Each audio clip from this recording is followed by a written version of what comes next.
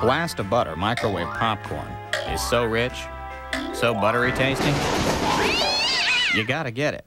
Blast O Butter from Jolly Time.